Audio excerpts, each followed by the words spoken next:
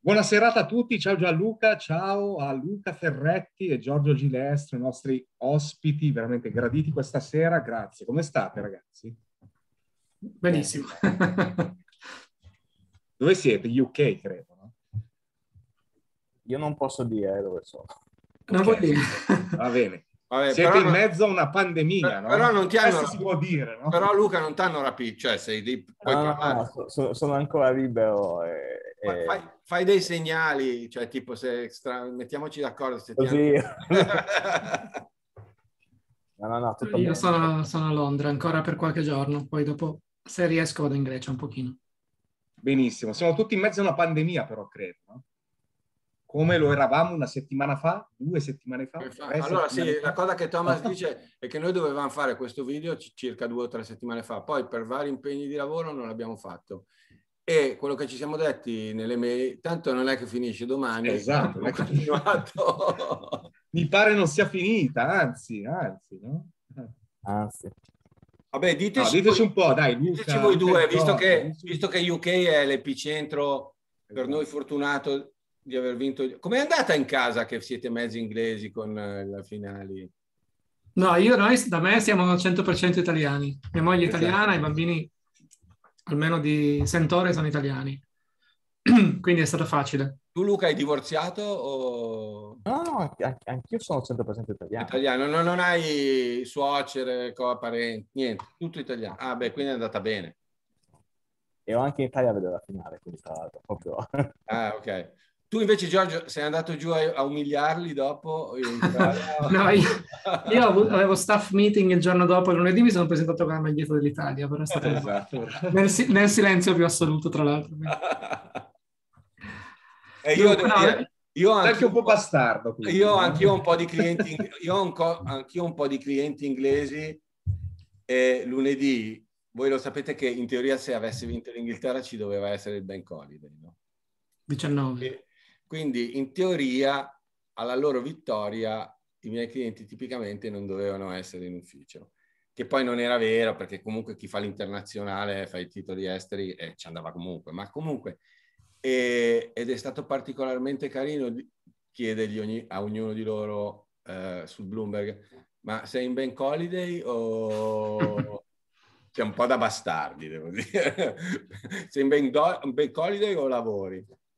Ecco, sì, no, l'hanno presa bene, devo dire, benissimo. Erano tutti contenti. Molto sportivi i miei colleghi. Eh, mi ha scritto per farmi i complimenti proprio piacevolmente sportivi. Sì. Hanno, anche, hanno, anche, detto che erano abituati al fatto che in fondo questa sconfitta dovesse insegnare la sofferenza di tifare per l'Inghilterra perché è una sofferenza eterna e quindi ha detto così i nostri figli così imparano cosa, cosa vuol dire essere inglesi. No, ma se, secondo, ecco, me... questa, secondo me questa cosa qua si collega molto all'aspetto anche epidemiologico. Cioè, ci puoi spiegare il perché? Cioè, allora, l'Inghilterra è stata veramente, diciamo, un caso studio almeno in due ondate, no? Nel senso che è stata, diciamo, la nazione che ha sperimentato prima di altre le due ondate. Perché funziona così? Sì, una cosa, ecco, e soprattutto aggiungo una domanda io. Un mio cliente inglese ha detto una cosa molto intelligente, no? mi ha detto, ma guarda, è una cosa un po' inspiegabile perché Boris Johnson è altissimo nei poll, no? dopo la variante inglese stava vincendo la battaglia, la scommessa che avevamo discusso anche qua, di fare una dose orizzontale perché era una certo. scommessa quando l'hanno fatta, no? stava vincendo, a un certo punto mentre era sopra 2 a 0, ha levato il portiere e ha messo un attaccante. Cioè è sembrato questo lo step 3 e lo step 4, no? Cioè a, a delle persone, non epidemiologi, ma gente che è in finanza. Quindi cioè, un po' da fuori sembra una mossa da kamikaze banzai nippon proprio, ma mentre vinci però, che è strano. Per cui se ce la spiegate anche anche culturalmente, no? Eh, da, da, dove arriva sta roba qua? Al di là dei numeri, vabbè. C'è una questione, dal mio punto di vista, che, che è curiosa del governo inglese ed è che, eh, allora, dopo magari entriamo in quello che è la strategia del governo inglese che sembra abbastanza estrema in questo momento e onestamente lascia quasi perplessi, tanto sembra estrema. motivata, dopo, dopo discuteremo perché penso che sia motivata, però estrema. Quello che mi sembra di capire negli ultimi giorni, da, da, da, da quello che posso sentire io, diciamo, io dico un conflitto di interessi perché io sono advisor indipendente del governo inglese, pagato dall'Università di Oxford per fare, per fare l'advisor del governo, ma quello che dirò qui tanto va contro i miei interessi di advisor, non è un problema. Il conflitto di interessi è molto mild. Però da quel poco che sento dal, da, diciamo, dal, da, della situazione in generale, anche se c'è una strategia, una strategia estrema dietro, questa strategia non è frutto di una riflessione profonda o di lobby che, che premono in direzione strana, quanto di una scelta di, diciamo, di una, di, un, di una scelta di guardare l'orizzonte di breve termine, come sempre accade in politica, e di scegliere la linea di minima resistenza su scale temporali corte. Certo. Non, non, cioè, anche se globalmente poi tutto questo spinge verso una strategia particolare e, e, molto molto rischiosa e molto audace, diciamo così, ma non è frutto tanto di una riflessione a priori quanto sembra frutto di aggiustamenti, aggiustamenti e di nuovo la linea di minima resistenza. E ultimamente è stata, è stata la prova nel fatto che il governo inglese è in subbuglio anche dal mio lato, dal lato dell'app e via dicendo, è molto in subbuglio appunto perché questa strategia non è stata pensata prima e quindi adesso c'è, c'è, ambiguità e ci sono problemi. Ad esempio, quello che sta succedendo è che da un lato Boris vuole recuperare tutto, Freedom Day e così via. Dall'altro, l'app, in questo momento l'app inglese sta funzionando a tutto andare, perché ovviamente l'app inglese funziona uh, a differenza di Moon. E in questo momento tutti si vedono, tutti hanno contatti. La gente comunque almeno uno su quattro usa l'app e in questo momento per la prima volta credo ci sono più persone ma stiamo parlando di più di mezzo milione di persone, eh, che sono eh, in, in, quarantena a causa dell'app, anziché a causa della, della, del tracciamento manuale.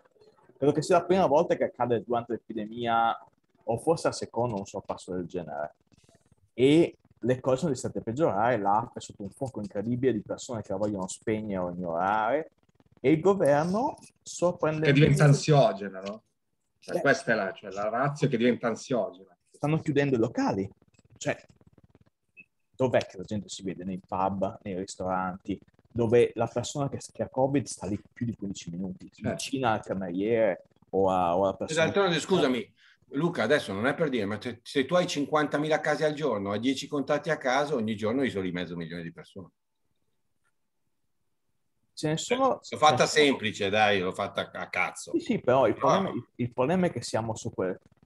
Siamo su quel, cioè, diciamo, sono magari, sono magari quei casi settimanali, perché non tutti hanno... Eh, no, ma infatti l'ho fatta a spanne, però era per dire... No, settimanalmente, che poi, visto che due 10 giorni di isolamento, diciamo 5 in media, facciamo isole, in mezzo alle persone. Questa situazione... Sì, ma la, la, il, il punto è che tutto il sistema, tutto il sistema, ma non solo in Inghilterra, in tutto il mondo, tutto il sistema finora era tarato per una condizione, che era la condizione del Covid eh, senza vaccini. E adesso si, si, si, muove, si transiziona in un altro modo, eh, che è quello della vaccinazione, della Delta. Cam- sono cambiate un sacco di cose, quindi tutti questi strumenti non sono più tarati per, que- per, nuovo, per questa nuova situazione. L'app eh, non è tarata per una variante che ha questa contagiosità, e questo livello di escape. Uh, I tamponi stessi non sono, non abbiamo un, nessun, sistema, nessun paese capace di reggere con una la sorveglianza a 150.000 casi al giorno, che è quello dove stiamo andando, non, sì. non ce la faremo mai, è impossibile. Um, il sistema di, isola- di, self-isolation, cioè se mio figlio sta male, che il fatto che debba stare a casa anche io. Nel momento in cui hai 150.000 casi al giorno, anche questo salta, non è più sostenibile, perché vuol dire che il 20% del paese sta, sta a casa un, un giorno su due. Quindi c'è tutta una fase di transizione che nessun governo veramente era riuscito ad anticipare, semplicemente perché tutti si erano bevuti la storia che con i vaccini finisce tutto. E invece eh. magari con i vaccini finirà tutto fra un po', ma c'è questa transizione che può durare anche un anno. No, ma infatti, infatti perché nessuno è pronto. Dice, quello che dico sempre a Gianluca, che lui allora c'è questa fissa qua del problema che ci sia un fenomeno esponenziale che tu vuoi combattere con o le linee rette o con un fenomeno come la vaccinazione che va su con un certo livello, poi vediamo, Israele si è arrivato tipo al massimo, US la stessa cosa, UK ha fatto meglio di altri, dobbiamo dirlo. Cioè, secondo me questa cosa qui non è stata considerata dai governi perché pensavano semplicemente a breve periodo, come, diceva, come dite voi. Cioè, quando tu pensi solo a breve periodo, poi ti trovi in una situazione come questa che è molto problematica. Cioè, io la vedo così. Beh, la, la, Delta non se l'aspettava nessuno, eh. esatto, uno la, la, puoi modellare tutto, ma anche, cioè, voglio dire, non, eh, chiamarla sfiga è una cosa, però ti dice proprio che questo virus ce, ce, ce sta mettendo tutta. Eh. C'è da dire una cosa, l'errore originale dell'Inghilterra, mentre con la variante alfa, con la variante inglese è stata praticamente sfortuna in buona parte, con la variante indiana, la delta, è stata la poca volontà di chiudere le frontiere eh. con l'India probabilmente legato alla politica del Brexit, al fatto che volevano un accordo commerciale con l'India e via dicendo. Quello è stato l'errore difficilmente perdonabile per me al governo inglese. Nel momento in cui sapeva che c'era la possibilità che l'India fosse vissuta un'ondata del genere per una nuova variante, non si, non si voli per un paese come l'Inghilterra che ha tutta la comunità indiana enorme e, e legami storici. E poi, dopo, dopo questo, nel momento in cui le, vari- le, le varie varianti indiane, perché c'erano tre inizialmente, erano sparse per l'Inghilterra, anziché cercare di abbatterle, ciao, prima spara e poi chiedi quanto è pericolosa. Invece qui si è deciso, aspettiamo a vedere, aspettiamo a essere sicuri che sia proprio pericolosa, a forza di aspettare, visto che diciamo, le varianti all'inizio hanno anche una serie di effetti casuali, si diffondono magari in certe comunità, si diffondono in certe condizioni, in particolare quando c'è una base etnica come in questo caso.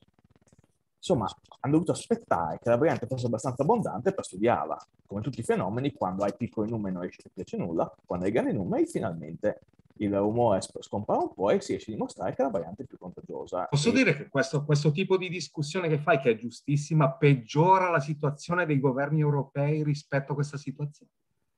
Cioè, perché in più avevamo anche le informazioni che arrivavano dall'Inghilterra, dagli altri paesi. Sì, sì, no, ma non c'è dubbio che no, questo, cioè, questo capitolo... Me, cioè, peggiora la situazione degli altri.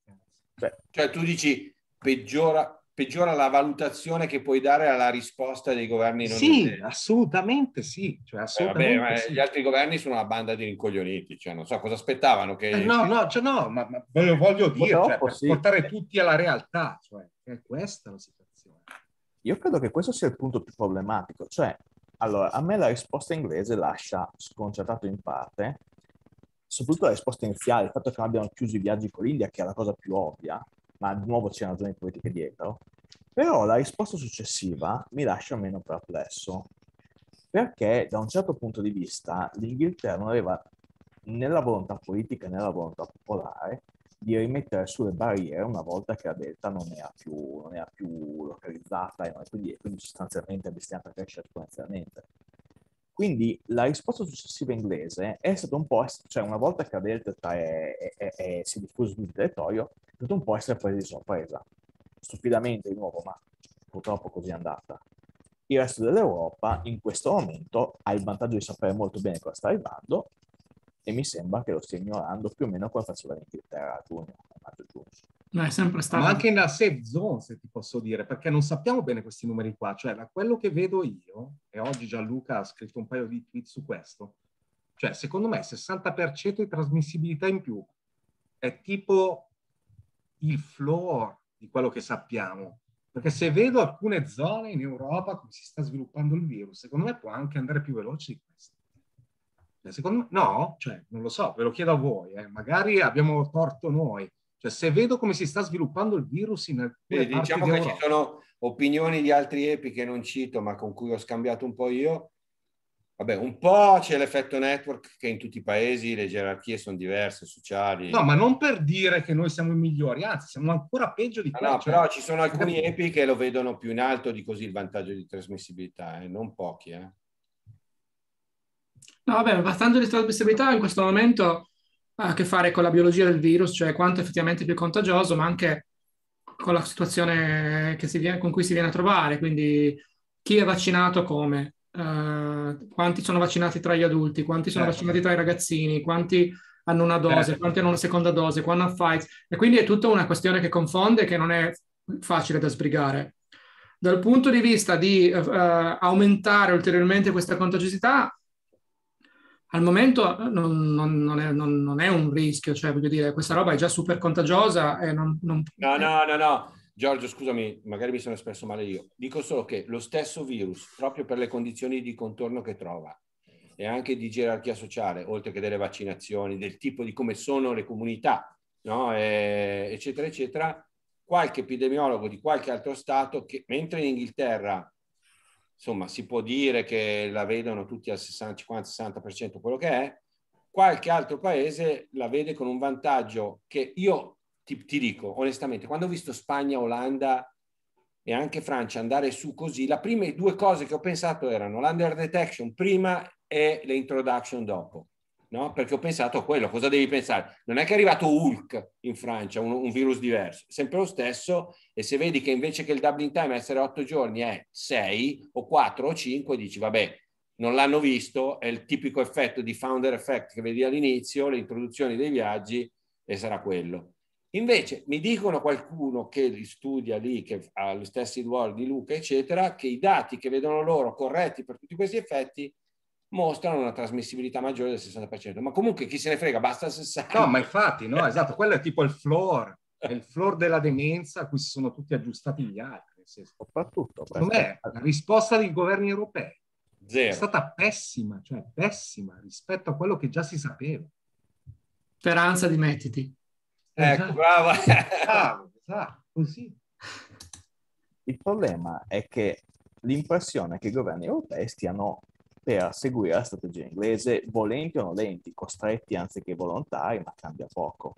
La strategia inglese al momento, per dirla molto chiaramente, è quella che hanno chiamato in maniera elegante immunità ibrida. In, eh, spiegaci questa cosa qua, che secondo me è molto interessante. Detto in termini molto poveri, l'idea è la seguente. C'è un'ondata di delta che non si fermerà, che colpisce soprattutto i giovani e, e le componenti non vaccinate che sono prevalentemente in Inghilterra appunto eh, i giovani, quelli che non sono vaccinati per niente e quelli che hanno la prima dose che sono diciamo eh, gente in età lavorativa giovane diciamo 30 anni, 40 anni e via dicendo. E questa è un'ondata che sostanzialmente non si vede in grado di, fermare, di, di, di essere fermata con nessuno strumento semplice, con nessuno strumento specifico come può essere tracciamento, come può essere uh, fare testing più, uh, più, inten- più, intensivo, come può essere ne- neppure la chiusura delle scuole a questo punto. Diciamo, qualunque strumento che non siano chiusure serie, tornare indietro a, all'equivalente delle vecchie zone arancioni o rosse, non sembra in grado di avere un effetto serio sull'epidemia. L'idea però è che questa epidemia, come diceva Giorgio, non si traduce poi in, uh, in un numero di uh, ospedalizzazioni e, mo- e morti molto alto. Diciamo, ci sono ospedalizzazioni, ci sono morti, crescono esponenzialmente ovviamente entrambi, però diciamo che con numeri per ora molto più piccoli di quelli che erano le precedenti. L'idea è la seguente, ci sono già una, buona parte di vaccinati e il vaccino protegge a un diciamo 75% più o meno dal, dal, dall'infezione. In più, tutti quelli che ovviamente si prendono la delta a quel punto sono per un certo periodo immuni. Quindi sommando sostanzialmente i vaccinati, che sono le classi di età, di, di, di età un po' più anziane, e facendo infettare liberamente i giovani, in pratica quello che si ottiene è la famosa immunità di gregge ottenuta in parte con la vaccinazione e adesso con queste bellissime ondate che ci sono, che ci sono in questo esatto momento. Anche, pri- anche, prima del rientro scolastico, questo è un po' anche la, secondo me la questione. No? Questo, questa, questa sottigliezza, il punto è in realtà... No, è un po' anche questa la cosa. Cioè, il punto è mitigare troppo questa ondata porta anche al fatto che questa ondata arriverà comunque, perché se non c'è nessuno strumento per fermarla, e se i vaccini non, non, sono abbastanza rapidi, perché non è che si può vaccinare una gran parte dei giovani in due mesi, non eh. c'è volontà, non ci sono le condizioni al momento. Purtroppo manca, mancano un po' entrambe le cose e le condizioni è un, un fatto obiettivo, la logistica, diciamo così.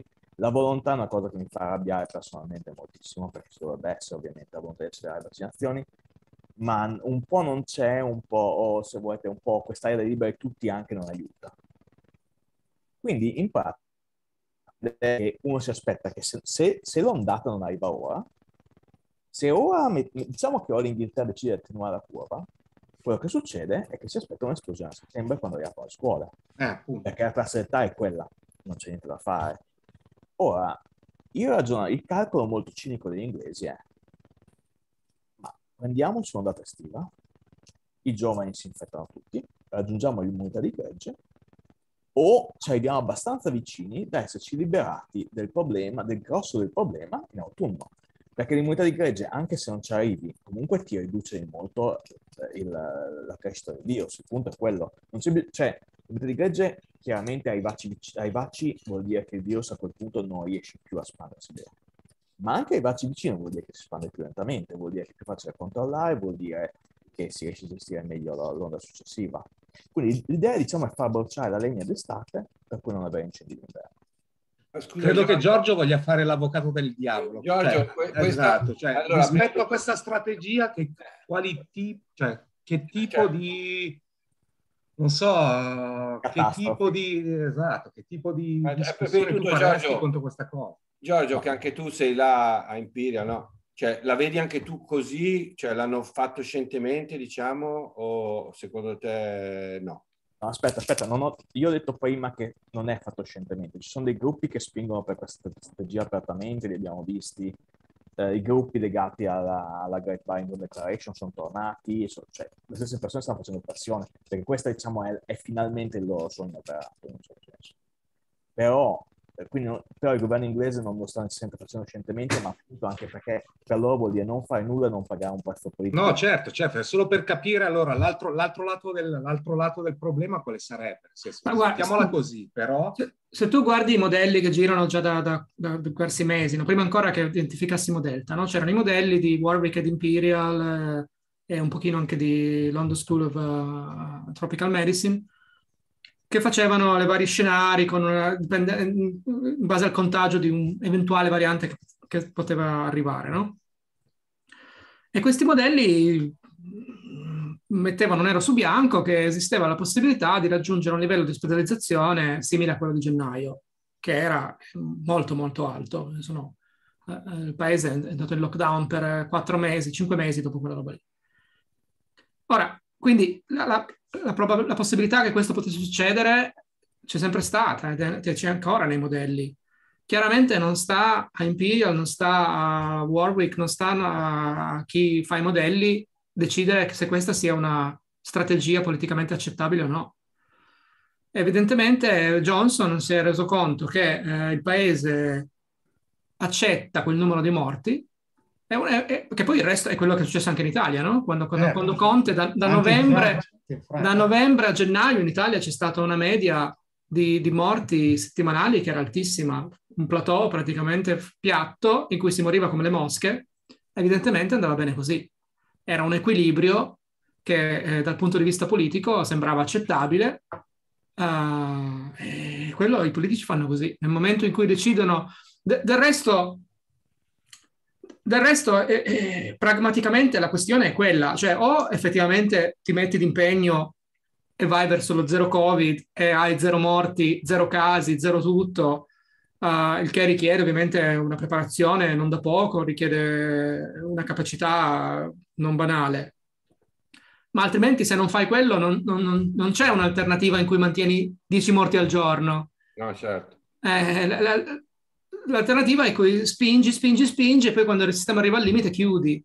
Eh non sì. puoi mantenere una, una, linea costante molto molto bassa. La linea costante sarà sempre alla soglia di quello che ti serve per chiudere tutto. Accettabile, sì, quello accettabile prima del lockdown. E questo è quello che non capiscono tutti quando si fanno i discorsi sui social, no? che tu dici bisogna fare qualcosa e loro dicono no, no, funebre, funebre. Però l'alternativa qual è? L'alternativa è che non fai niente e poi l'unica, ti, l'unica carta che ti rimane è quella del lockdown, non esiste nient'altro. Quindi anche adesso negli UK, io non lo so se riusciamo ad arrivare a settembre senza un altro lockdown. Non, non, non, secondo me non, è scontata questa cosa, eh? perché se guardi le curve di crescita delle ospedalizzazioni, siamo 4-5 settimane dal picco di gennaio. E il picco di gennaio è il picco in cui l'NHS va, in, va in, completamente in pallone. Ora, il governo dice, vabbè, siamo ad agosto, un conto è il picco che ti arriva a gennaio, un conto che ti arriva al picco ad agosto, perché le condizioni sono diverse. Ma non, non so quanto sia affidabile questo ragionamento. No, io credo che non sia affidabile. Cioè, in questo calcolo è incluso che comunque vada l'NHS sotto una stress tale da causare problemi enormi a lungo termine. Cioè, questo, per essere chiari, questa strategia vuol dire fottere l'NHS. E è anche possibile che non funzioni, cioè anche, anche, anche diciamo, spingendo l'NHS al limite è possibile che a un certo momento... Scusa Luca se ti interrompo, ti interrompo per dire una cosa che non la puoi dire tu. Cioè, il governo inglese ha sacrificato scientemente l'NHS, ha preso la decisione che l'NHS era il gruppo di quelli che attaccavano per primi in guerra, nella guerra di trincea, e che veniva eventualmente falciato completamente. Nel senso che si sa che la pressione, il bottleneck di tutta questa epidemia non sono i morti, perché purtroppo cinicamente, se uno ci pensa, i morti o, o, o recovered o dead è risolto, ok? Il problema è l'intasamento degli ospedali, che siano poi terapie intensive o letti normali non ha nessunissima importanza e quello che mi diceva qualche medico che conosco bene, che viene dall'NHS, e che mi diceva che stavolta l'errore che fanno però all'Inghilterra, aggiungo solo questa cosa, è che l'NHS non è che era vuoto con le mani vuote, l'NHS stava disperatamente cercando di recuperare i 4 milioni di prestazioni che non ha fatto nell'anno e tre mesi di pandemia, per cui avevano dentro i pazienti di cancro, i pazienti, cioè stavano cercando disperatamente di recuperare il backlog. Quindi se li prendono, li prendono, che non li prendono vuoti, capito? Questo è il tema vero, capito? E questo... seco... Scusami, ecco, ho finito il pistolone. Questo, questo, è un altro punto importante, ma il punto è che, cioè, diciamo, indipendentemente da quello, già per come siamo ora, quel, quei 4-5 milioni di, di, prestazioni attesa verranno posticipate. Non c'è è eh, maniera, certo, che, è ovvio. come diceva Giorgio, non c'è maniera che ci siano contemporaneamente. Quindi quelle sono andate quelli che avranno i, no, i, i, i, tumori, i tumori che verranno operati in ritardo e via dicendo, vi posso dire che stanno già cancellando le sue operazioni per andare. Cioè, diciamo, in generale, stiamo parlando di governi come quelli conservatori che da anni che al di là di generiche affermazioni di principio non hanno mai dimostrato di avere, di avere nessun tipo di rispetto per l'NHS. Quindi non stiamo parlando di una politica nuova, stiamo parlando di un fatto che, diciamo, eh, dato un po' per scontato nella politica inglese da lungo tempo, tenuto un po' nascosto da, da, al pubblico perché il pubblico è fiero dell'NHS, ma in concreto la volontà di smantellare l'NHS per chiunque abbia a che fare, io ho persone che me care che lavorano lì, è chiara da anni, semplicemente in questo momento al governo va benissimo mettersi in una situazione del genere, come diceva Giorgio, politicamente per loro quello è un prezzo che possono pagare.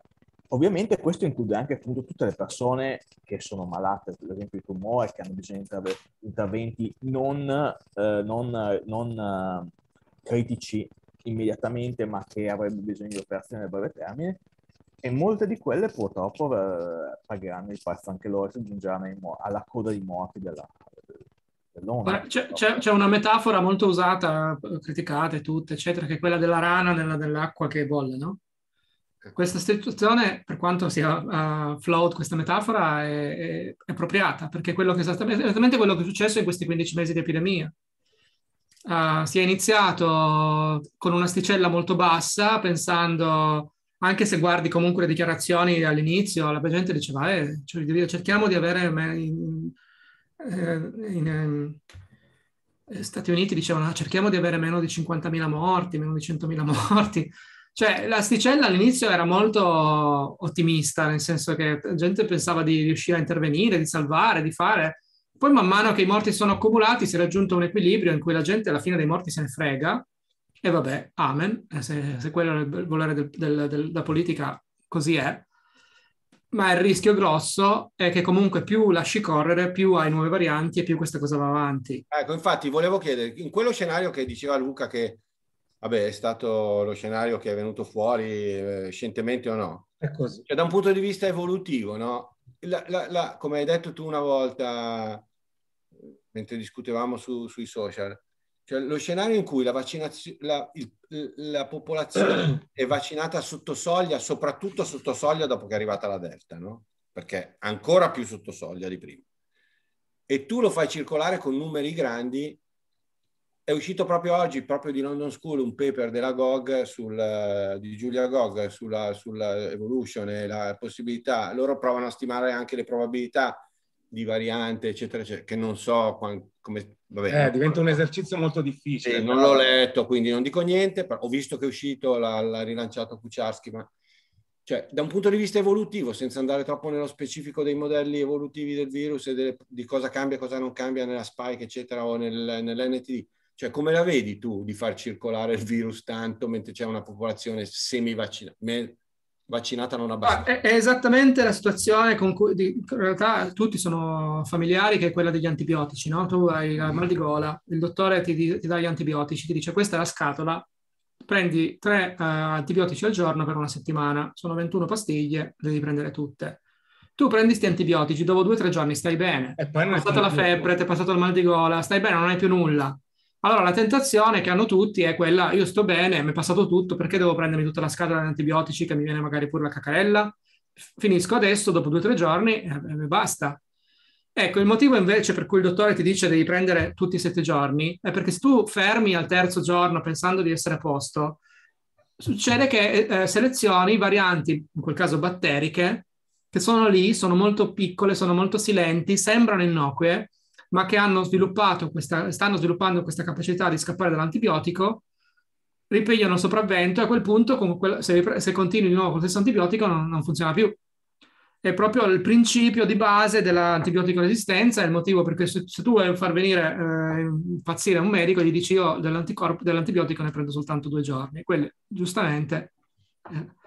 E la stessa cosa si sta facendo eh, con il virus, cioè non puoi arrivare a un certo punto, sembra che tutto vada bene, sembra che dopo due o tre giorni eh, tu possa interrompere, che possa ricominciare da capo e non finisci la cura della scatola. E quello eh, ti frega. Ti frega perché in questo momento cosa succede? Per, da, per dare un esempio, um, i miei figli adesso sono, sono, guariti, ma stavano male, sono stati male tutti e due, vengono a casa, portano il, il, virus. Nel loro corpo, diciamo, si sviluppano tante varianti, perché questo è quello che fa il virus, no? Si sviluppano tante varianti. Per sfiga, una di queste varianti è una variante che riesce a, a beccare i vaccinati questo è tutto un discorso teorico, no? Certo, certo. La infettano me, magari, eh, siccome io vaccino, ho fatto già il Covid, gli anticorpi, eccetera, mi prendo questo virus, ma non sviluppo tanti sintomi, rimango magari asintomatico, vado in giro, vado al lavoro, vado al supermercato, passo questa variante e boh, e si ricomincia tutto da capo. No, ma infatti, allora, gra- grazie Giorgio di questo, che hai detto questo. Una cosa che non si ricorda è che allora, il maggiore motore di questa pandemia sono stati gli asintomatici, giusto? Mm. Parlare di responsabilità individuale quando ci sono gli asintomatici a me pare assurdo, no? Non so a voi, ma a me pare assurdo. Soprattutto che adesso sono asintomatici Dice, vaccinati. Cioè, la, la, responsabilità sarebbe personale, ma quando tu sei asintomatico, che responsabilità personale vuoi avere?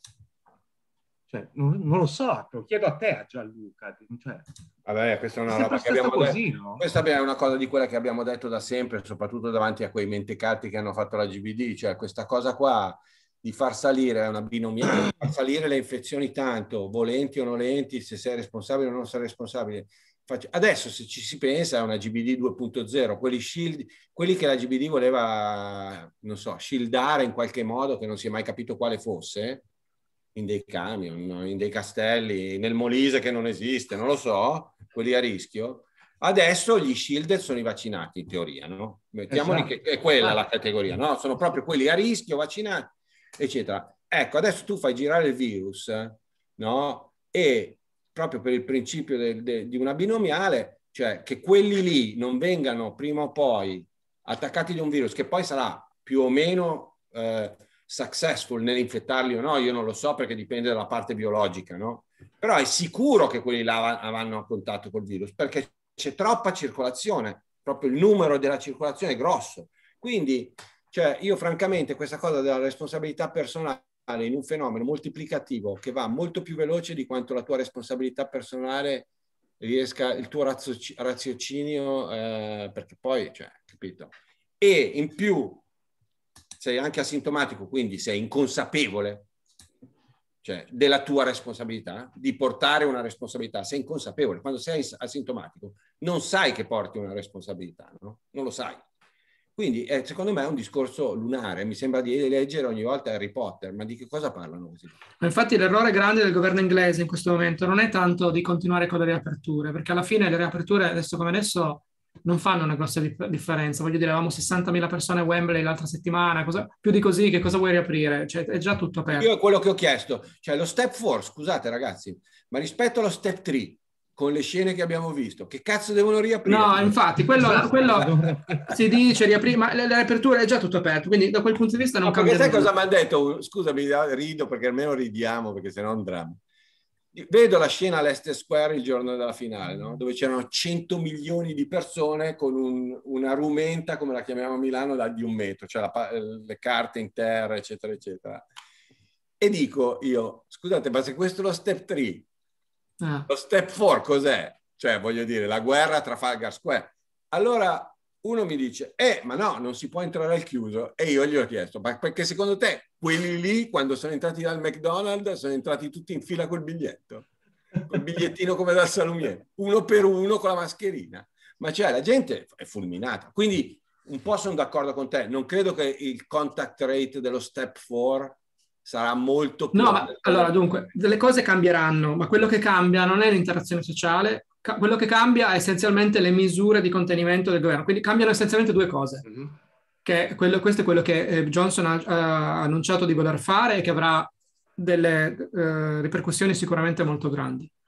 Se sei vaccinato non ti devi più isolare, ok? Quindi l'idea appunto, arrivano i bambini da scuola, sono malati, io sono vaccinato, non devo stare a casa, posso andare a lavoro, posso andare a prendere la metropolitana. Questo ha delle implicazioni molto importanti perché vuol dire che io posso essere vaccinato ma asintomatico e, e quindi portare un, un, virus resistente in giro. ecco, quindi... non lo sapevo questo. Eh, eh, questo infatti, secondo me questo è, questa questo è molto, molto importante. Questo è molto importante, secondo me è sottovalutata questa cosa. No? Esatto, ma perché fanno così? Perché se loro nel loro modello hanno 50.000, 100.000, 150.000 infezioni al giorno, se tu a quelli associ anche le persone del nucleo familiare che si devono isolare. È finito, dopo dieci è finito non lavora più nessuno. Finita, sì, infatti. Non, cioè, esatto. Nessuno va più a lavorare perché eh, esatto, hai, eh, se hai 150.000 infetti al giorno, moltiplicali per 4 del nucleo familiare, sono 600.000 persone al giorno che non possono andare a lavorare. Ma infatti questa, questa, cosa mi fa molto ridere perché è, quello, cioè, è la cosa che mi conferma che quelli che dicevano che ci sarebbe un trade-off fra epidemia e economia non hanno essenzialmente capito un cazzo. Cioè, no? cioè, io, io, ho visto stime, vi dico le stime pubbliche, ho visto stime, siamo a un milione e mezzo di persone isolate in questo momento. Una, una, cioè, non sono numeri piccolissimi. Esatto, quindi un, una situazione in cui hai 150.000 di contagi al giorno non è compatibile con uh, provvedimenti in cui chiedi alle persone di isolarsi, no? Allora, quindi aggiungi proprio uh, benzina sul fuoco perché hai tutti questi casi e in più lasci che le persone vaccinate, magari asintomatiche appunto, vadano in giro a portare questi virus, eh, che è il modo in cui selezioni i varianti di escape. Questo è, è esattamente quello che sta succedendo. L'altra cosa è che ehm, appunto abbandoni completamente qualsiasi tipo di tracciamento, ma non, neanche solo, anche solo, anche solo la, um, contare i casi giornalieri, no? Non puoi più contare i casi giornalieri se ci sono 150.000 casi al giorno e, e cosa fai? Tu chiedi a tutti di... No, non, non fa, il sistema non ce la fa, il sistema adesso non è, è, è per 200.000 test di PCR al giorno. Eh. Se tu hai 150.000 positivi al giorno, dovresti avere almeno un milione di test positivi gio- di PCR al giorno. Quindi vorrebbe dire aumentare il, il, sistema inglese, che è già il più alto del mondo, di altre 5 volte. È impossibile da fare. Quindi l'alternativa cosa vuol dire? Vuol dire che perdi il controllo del numero dei casi completamente e vai di nuovo alla cieca come andare alla cieca in queste condizioni in cui non hai il controllo del numero dei casi e le persone fanno quello che vogliono, vuol dire quello che succedeva a Bergamo a marzo. È la prima ondata, esatto, è Bergamo. È la prima ondata. Luca, scusami, chiedo a te perché sicuro lo sai. Eh, i vaccinati perdono l'obbligo di report- riportare i sintomi, come è successo in Israele e in altri posti? Non ho mai avuto l'obbligo di sintomi. Ah, mai? Ah, scusami, credevo che ci fosse. Ma in Allora- che senso? Cosa intendi per No, per, l'obbligo di per esempio, Nella- uno dei, nella- uno dei problemi, uno dei problemi di capire le infezioni sui vaccinati, per esempio in Israele, che ha fatto un lavoro, diciamo, dettagliato mentre c'era questa fase di vaccinare e lockdown, eccetera, eccetera, era che però c'era un po' una falla perché per il sistema israeliano da vaccinato tu non avevi obbligo di riportare i sintomi tipo ranninoso, così, non dovevi riportarlo. Quindi non s- una delle falle di questo sistema è che non capivi la- la- se il virus passasse sopra il vaccino, come le infezioni dei vaccinati non si capivano. no? Chiedevo se per caso in Inghilterra c'era un sistema per cui anche i vaccinati avevano, dovevano riportare... No, no, ma qui obblighi, obblighi di quel tipo non ce ne sono. Non C'è un'app sono. che si chiama Zoe, eh, che si basa su quello, cioè tu ti scarichi l'app eh, di King's College, se non sbaglio, e ci metti i sintomi, dici c'ho il naso che Sì, cola, ma c'ho totalmente volontaria. Però cioè, Ma è totalmente eh, volontaria, sì. Però non è, la- non è la- non è la- quella che avete, non l'avete fatta anche quella voi, no? Luca? No, ma le stesse funzioni, anche se con meno sintomi per varie ragioni che non discuteremo qui. Eh, o se volete discutiamo, non ha nessun senso. Diciamo, con, con una scelta di sintomi un po' antiquata, ma la stessa cosa è disponibile nell'app. In teoria, che se l'app vede un sintomo, ti dice- di autoisolarti per 10 giorni. Ah. E, e puoi prenotare un test. Però è tutto volontario, come si diceva. Quindi cioè, in, una, in una situazione, il problema di tutto questo è che in una situazione in cui si dice apertamente che i vaccini hanno risolto tutto, ci sono, sono doppi vaccinati, anche i vaccinati singoli che vogliono solo andare a fare test e non importa niente del resto. Diciamo che eh, non è chiaro quanto i politici stiano guidando e quanto invece stiano facendo guidare. Nel senso che oramai non credo, anche se, cioè, diciamo, se decidessero di dare una svolta in direzione di, di chiusure più serie, non credo che avrebbero nessun tipo di consenso popolare. Cose moderate, sì, mascherine, mascherine sui mezzi pubblici, magari mascherine al chiuso, mantenere magari qualche, qualche misura per i non vaccinati, ma il grosso della popolazione non, non- non supporta in realtà misure, misure più estreme di queste che è un po' il, il dilemma in cui si, trovano comunque, si trova comunque l'Inghilterra, perché comunque con queste misure non si ferma il virus. Al massimo si, va- si rallenta un po' la corsa di quello che c'è. Però scusami, scusate, io ho guardato i modelli attentamente perché io, vabbè, un po' anche per curiosità intellettuale, no? Sono cose che sono molto interessanti se ti appassioni un po', no? E ho visto che, diciamo, nell'ultimo aggiornamento, senza fare troppa polemica, quello che varia tanto tra i tre, vabbè, ci sono, allora, intanto forse vale la pena di spiegarlo, tutti questi modelli hanno dentro un sacco di assunzioni, no? Tantissime, tutte discutibili, tutte in buona fede, tutte che Luca pensa che è una cosa, io ne penso una, cioè Warwick pensa una cosa, Imperial ne pensa una, e, e voglio dire, non ce n'è una che la guardi e dici ha più senso lui dell'altro, cioè, boh, vanno tutte più o meno. E però devo dire, una delle cose dove cambiano tantissimo, cioè cambiano di più, che si nota di più, è il contact rate. Cioè, quasi tutti i modelli avevano in step 3 un contact rate più basso di quello che c'è stato. Cioè, la mobilità in questo momento in Inghilterra, se non sbaglio, è pre-pandemic, quasi. No? E non se l'aspettavano i modelers, questo vedendo le versioni prima e sono rimaste ancora un po' delle differenze tra Warwick, Londra e Imperial su quello che succederà dopo Step 4, no? Secondo me, detto, come dicevamo prima, da un punto di vista, cioè quello che ha detto Giorgio è giusto, no? E quello è, diciamo, quasi intra-host circulation cioè nel senso c'è un sacco di gente che magari cova delle varianti e se ne va in giro, ma però cioè, non, non so che differenza palpabile ci sarà tra eh, cioè io per scherzo ho scritto che la, cioè la cosa più, che cosa dobbiamo vedere? Un'orgia di 80.000 persone in una camera iperbarica, perché cioè, tutto il resto l'abbiamo visto, nel senso che gli stadi pieni, la gente all'Est Square come quando andavo da studente, eccetera, non so, non so. Ecco, però quello che si vede nei modelli è che ci sono varie assunzioni un po' diverse sui contact rate. Però, cioè, a onore degli inglesi che io ho criticato per altre cose su alcune robe in un thread che ho fatto, le prime quattro pagine del consensus statement di, SPIM, di, SPI, di SPIM ti dicono quante siano le incertezze di tutte queste robe che hanno scritto. E infatti se si guardano le curve delle ospedalizzazioni, vanno dal 40% del picco di cui si parlava prima al 132% del picco di cui si parlava prima. Ecco, io volevo chiedervi questo. Ma secondo voi, mettiamo anche che sia remota la possibilità, no?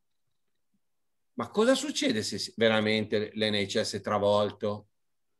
Cioè, perché da, da persona che lavora più sull'economia, cioè io non credo che con gli ospedali travolti la gente va a fare shopping, no? No, ma se l'NHS è travolto devono fare un altro lockdown. Cioè, la risposta behavioral sull'economia di una situazione in cui tu cominci a vedere i titoli, la gente, gli ospedali che chiudono e che ti rifiutano una prestazione normale, non è una risposta behavioral, cioè non è che uno dice vabbè allora domani vado a comprarmi la macchina, mi sono spaccato un braccio, non possono curarmi, ma vado a comprarmi una macchina, cioè non funziona così. Eh. Ma no, ma NHS, cioè il sistema sanitario che va al collasso, come ci siamo arrivati vicini diverse volte, come si era Bergamo, eccetera, vuol dire che la gente muore in casa. Cioè è chiaro che quella è una situazione che non puoi ignorare. Um, no, cioè l'idea... l'idea io quello che, volevo, io quello che stavo chiedendo... Io ho capito, ho capito cosa vuoi dire tu. Prima. Esatto. Eh, io quello che volevo dirvi è, si fermano prima o devono, siccome non c'è capitale politico da spendere per far chiudere prima, devono proprio prendere la facciata? Ma no, prenderanno, cioè, prende, prenderanno la stessa facciata che hanno preso finora, perché eh, eh alla fine comunque qualunque sia la crescita, quelle due settimane di, di buffer ce l'hai per evitare proprio il tracollo.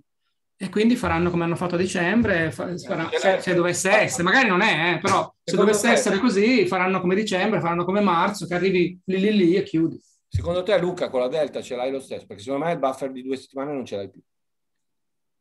Secondo me ormai all bets are off, nel senso che la situazione è diventata molto più complessa. Cioè, prima, onestamente, era, tu potevi fare un modello come era fatto in PIA all'inizio con centinaia di parametri e poi quelli che contavano alla fine erano 3-4 parametri composti e basta. Questo è l'inizio, quando le cose erano semplici. Adesso siamo in una situazione in cui ci sono una marea di variabili. I parametri che cambiano. Sì, co- comincia, comincia, a contare com'è il mixing tra le classi di età, comincia a contare com'è l'efficacia del vaccino sulle diverse classi di età, comincia a contare letteralmente a quel punto qual è l'efficacia sui vaccinati, sui, sugli infetti precedenti. Comincia, comincia, a contare tutta una serie di parametri, per non parlare di tutti i parametri eh, di mobilità, i parametri comportamentali, quei behavior che non, Dio, solo sa, Dio solo sa come si comporta. I, I modelli a questo punto sono un bilancio fine su tutti questi parametri.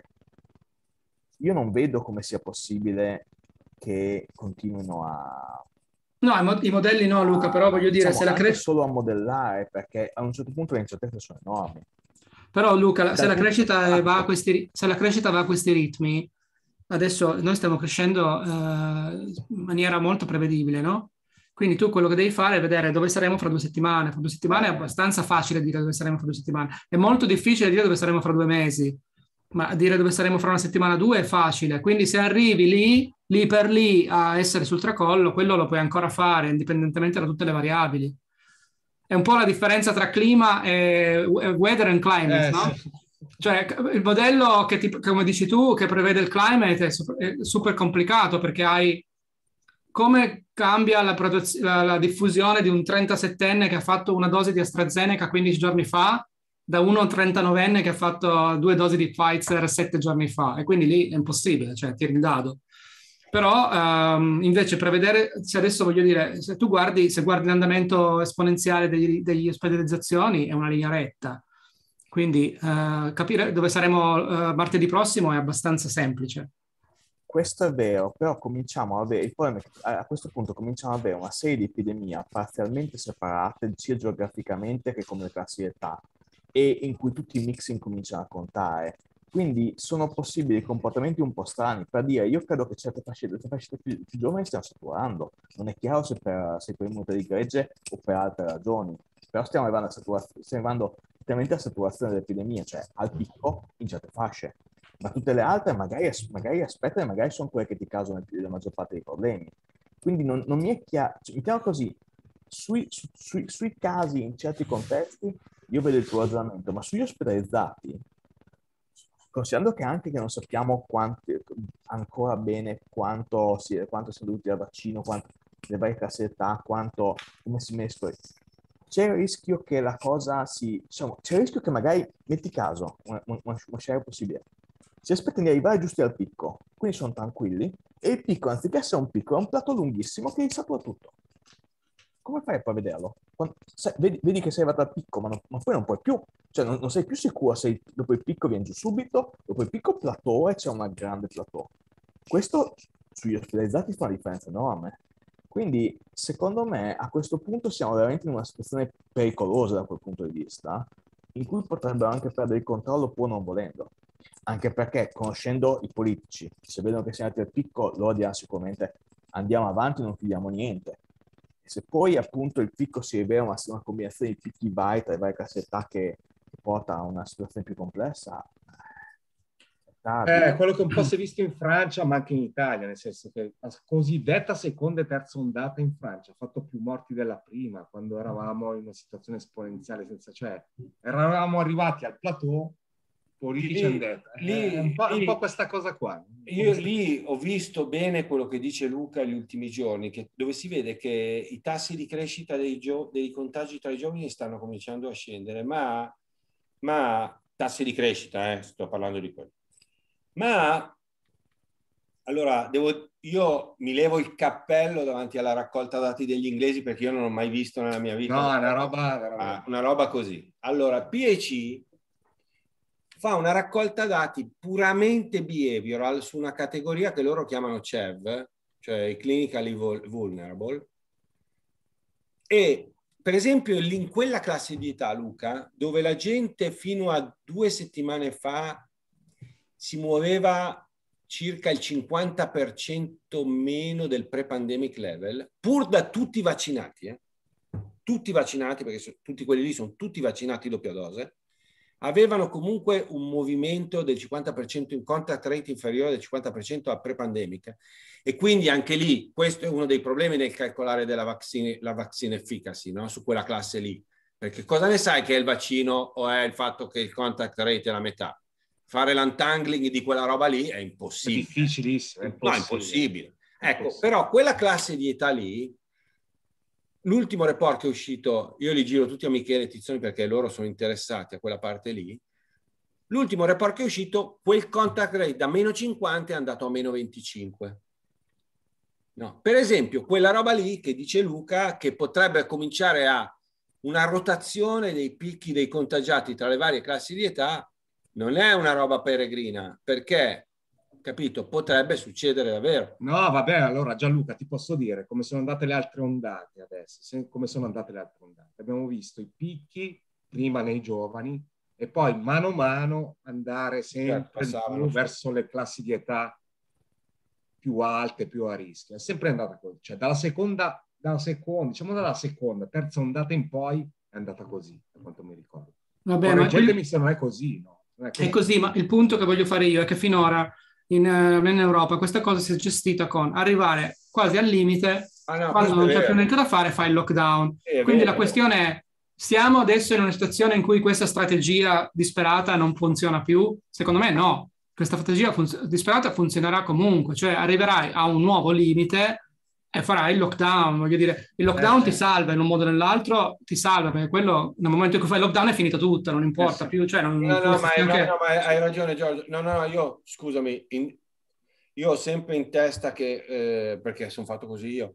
Infatti non faccio politica, che magari uno si vuole fermare prima, no? E ah, dico, no, ma no. no. E dico, e dico con, con, la variante, con la variante Delta, no, che ha questa trasmissibilità qua, al massimo dopo, cioè io dove, dove, non sono completamente d'accordo con Giorgio è che io temo che invece cerchino un po' di sforare. Eh, cercano di sforare. Beh, è chiaro che finora hanno sempre spinto, no? Hanno sempre spinto sempre un pochino di più, un pochino di più, un pochino di più. Esatto. Può darsi che con questa ancora proveranno, non lo so però, perché voglio dire, c'è anche un costo politico nel, nell'avere delle immagini da catastrofe, eh, la gente poi pensa che magari le immagini da catastrofe ci sono perché il vaccino non funziona, mentre invece le immagini da catastrofe ci sono perché è vaccinato soltanto il 40% della popolazione. Certo. Eh, quindi c'è anche, c'è anche, quella cosa lì, eh, non lo so, eh, ci sono tante cose in ballo, è molto complicato. E... L'altra cosa secondo me che potrebbe incidere il profilo d'età di quelli che sono stati. Ah, è, chiaro. Sì. Perché, perché, se si vede massicciamente giovani che stanno male, o se si vede per esempio il massi, massiccio long covid nei bambini, i bambini ne frega nessuno, permetto. Cioè, io, io, dico chiaramente, io ho portato via mia figlia dall'Inghilterra perché col cavolo che tengo in Inghilterra in mezzo a una cosa del genere. Però eh, la verità è che a nessuno gliene frega niente a meno che non ci sia, non ci sia un'ondata di long covid massiccia. Se no... Uh, quello è un altro grande problema. Allora, allora, allora. ho discusso con Gianluca molte volte. I costi economici del long covid secondo me sono molto sottostimati. Ma anche a livello, cioè a livello proprio di quanto ti costa annualmente, a livello di livello, cioè proprio il livello di spesa che un governo deve mettere, mettere in piazza per, fare, per, per, trattare questi casi qua, secondo me è molto sottostimato. Molto sottostimato. Ma, ma, anche, ma anche, non solo poi la, la, spesa diretta, anche il fatto che tu hai delle persone magari... Che non possono lavorare. Una, esatto, condizione invalidante, una condizione invalidante che magari... Al non possono lavorare. Cioè, capito? Eh. Quindi... Io, io sono onesto, io, io in tutta, tutta, tutta l'epidemia, che questo, da questo punto di vista sono un po' controcorrente, cioè io quello di cui ho paura non sono neanche, non è neanche long covid. Per me sono quelle che io chiamerei le known unknowns, o chiamate come volete, cioè il fatto che questo qui è un virus di cui non sappiamo un tubo. Stiamo capendo ora gli effetti a livello del sistema nervoso, a, livello, a livello, di problemi cardiaci, infiammatori. Sì, gli unknowns, esatto, cioè non sappiamo eh, nulla. So, cioè, questo qui è un virus che per la prima volta è integrato con il nostro corpo sostanzialmente, scatena una quantità di reazioni varie eventuali di cui ignoriamo qualunque cosa, che magari è possibile che su, su, su bambini abbiano meno effetti, non, non ho idea e non, non mi metterei a speculare su questo onestamente per un virus del genere però in generale potrebbero lasciare problemi a lungo termine. Ora, magari sono piccoli, magari sono piccoli numeri, magari no, magari sono piccoli ma accumulativi su grandi numeri. Esatto, bravissimo. Esempio, mettiamo, mettiamo caso che ci sia un qualche tipo di problema, appunto, ad esempio, diminuzione della materia grigia in area del cervello, per dire una cosa che si è vista su, scala dell'intera popolazione. Cioè, non, è un problema trascurabile se poi ha ripercussioni. Di nuovo, infia- problemi infiammatori, altri, altri tipi di problemi che si, che si protraggono a lungo termine. Non ho, nessun, non ho nessuna idea di cosa questo virus faccia al corpo, ma lo qualche anno. E onestamente il mio punto non è neanche che possiamo prevederlo o non possiamo prevederlo. Il mio punto è, in generale, io quel poco che capisco di interazioni virus-ospite è che tipicamente sono molto difficili da prevedere anche quando uno sa già cosa fanno. Cioè, se io so, so cosa fa il virus, prendo l'ospite e mi va a studiare la biologia molecolare, già lì è difficile capire cosa sta succedendo. Abbiamo un virus di cui non conosciamo praticamente niente e questa è la cosa che mi preoccupa molto anche in ottica bambini, perché appunto lasciando andare l'infezione naturale, se c'è un problema anche piccolo però sulla scala di una generazione, ci stiamo andando a, cercare, a cercare dei problemi. Io personalmente per mia figlia preferisco evitarlo e ha un, pre, è un, pre, un costo per me evitarlo. Eh, certo. Però mi rendo conto che in Inghilterra quest, purtroppo questo problema esiste e per me non, non, c'è, non c'è neanche una maniera semplice di evitarlo, onestamente, perché io vedo tutti, la maggior parte dei miei colleghi, ad esempio, ma anche Giorgio, per essere nella stessa situazione, non è che possono mollare, prendere e andare in un altro paese facilmente, e non, non, c'è, non c'è, una maniera di, di scappare per, per, la maggior parte delle persone di evitare il virus. In una situazione in cui sono delle note del genere, tutti se lo devono prendere sostanzialmente, di, di, di, da un lato o dall'altro. Quindi è una situazione molto, cioè una situazione molto difficile secondo me dal punto di vista della public health, perché ci sono queste conseguenze di cui non sappiamo ancora abbastanza, che sono potenzialmente un problema e però sono anche difficili da, da includere politicamente, perché chi è che politicamente decide di pagare un prezzo per una cosa che non sappiamo meglio? E è un, po', è un po' anche come l'immune escape. La mia impressione è che cioè, Giorgio ha perfettamente ragione a dire che c'è un pericolo grosso di immune escape. Eh, o più che altro, se, se arriva l'Immune Escape, quella, quella, magari, magari il pericolo è piccolo, ma se arriva scombina completamente tutti i piani per il futuro. Completamente. Diciamo, cioè, scusami, quello che stai dicendo Luca è quello che noi modelliamo nelle, nelle code, è uno di quei danni catastrofali che... In no, ma esatto, perché essenzialmente quello che si sta dicendo è che con i nuovi vaccini basta fare una piccola modificazione al vaccino mRNA e noi siamo tutti a posto. Però poi devi fare le vaccinazioni, eh, che non è evidente, capito? Non è evidente questa cosa. Io, io, lo vedo possibile che se c'è ad esempio un escape minore che alla fine, diciamo, sì, continua ad andare avanti, ma ha poco impatto, noi non sappiamo quanto, quanto, quanto, sia la probabilità di un escape a causa solo un pochettino più di eh, resistenza al vaccino e un escape invece a causa resistenza grossa.